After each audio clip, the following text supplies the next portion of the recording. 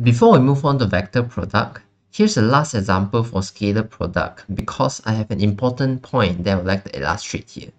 Okay, so we are here on the screen, we have the same example from the previous video, but what am I going to do now is, instead of saying that vector A is 5 Newton 45 degree above the positive x-axis, I'm going to modify vector A. So now I'll change vector A to become 45 degree above the negative x-axis. So instead of pointing in this direction, above negative x-axis will now be in this direction. So of course I have to replace this vector A here with a new vector A which is pointing at this angle over here. Again, I label my 45 degree here because this is 45 degree above negative x-axis. Now, if I still want to find A dot B, what would be the answer? So the magnitude of A dot B, we can again calculate using AB cos theta. So this is magnitude of A, magnitude of B, and cos theta. So the theta here, again, to remind all of you, uh, theta here represents the angle between two vectors. So our two vectors here is vector A and vector B.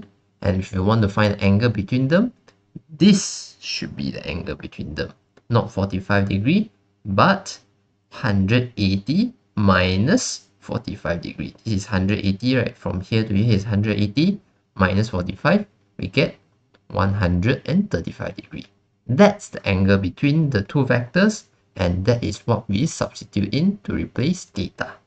So if you calculate it you get an answer negative 10.6 newton. Okay so of course you can also write it another way. You can uh, just omit the right arrow and the modulus because you just straight represent it as magnitude of A magnitude of B cos theta. So you get still get the same answer. You can write it either this way or you can write it this way. Both are accepted. Okay but here's an important point. Why why do I show this example? It's because now our dot product or our scalar product produces a negative answer magnitude. Negative answer. Magnitude. Negative answer. Is that allowed? Well the answer is yes it's allowed. Why? Because this is a scalar product. If you are having a scalar product the product of the scalar product is a scalar. Then you have no direction.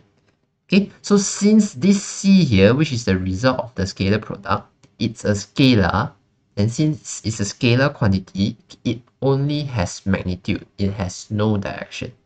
If you remember from the introduction video to uh, scalar and vectors uh, stuff, we mentioned that scalar has magnitude only, vector has both magnitude and direction.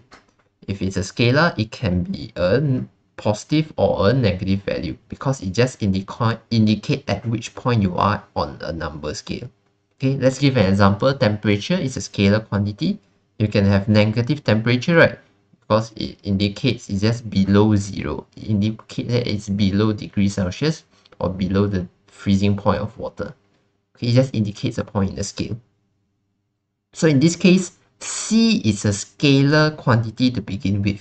C is not a vector. Okay, therefore C can have positive or negative value. Okay, if C today is a vector, if the result here is a vector, then the magnitude of a vector must be positive. Magnitude of a vector must be positive. But if it's a magnitude of a scalar quantity, it can be positive or negative. But right now, since this is a scalar quantity, it can be positive or negative. That's the point I'm trying to relay here.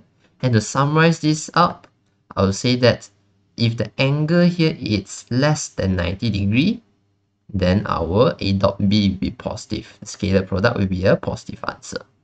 If the theta is 90 degree, they are perpendicular to each other, no parallelness at all, then AB will be 0. And if the theta is greater than 90 degree, uh, the component will be sort of in the opposite direction. You can see that the component it will be in the opposite direction Therefore, the A dot B will be negative. You can call it anti-parallel for these kind of cases. Okay, let's move on to the diagram to illustrate the point that I'm trying to make here. Okay, so this is the original situation. If you want to find A dot B, it's just AB cos 45 degree. One we've discussed it quite a lot of times. but now if we shift uh, the new vector a here to over here then now the angle between them is 135 degree. If you want to find the dot product you'll find that it's cos 135 okay i'm keeping the magnitude of a the same as the magnitude of a over here. But as you can see here if i resolve this a here meaning that i'm doing a prime cos 135 i'm actually resolving it over here. Okay because it's cos right cos still adjacent. So i'm actually breaking down. So this is a cos 135 okay if you are not sure right you can use this maths to convince you. I'm not going to elaborate. This is from your trigonometry identities. You can find that cos 135 is equivalent to negative cos 45 so i can replace this cos 135 here with negative cos 45 and now you can see that because the angle is greater than 90 degree we have to introduce a negative sign right now the answer here will be negative because the, the angle between them is more than 90 degrees. And as you can see here, the characteristics here is the component of A, which is parallel to B, is in the opposite direction to B. Okay, before this, the component of A parallel to B is in the same direction as B. But now the component of A which is parallel with B is in the opposite direction to B. So if it's in the opposite direction, the answer of the scalar product will be negative.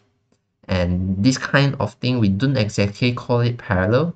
We say that the component of A is the component of A that is, uh, is anti-parallel to B. Okay, anti-parallel means parallel but opposite direction.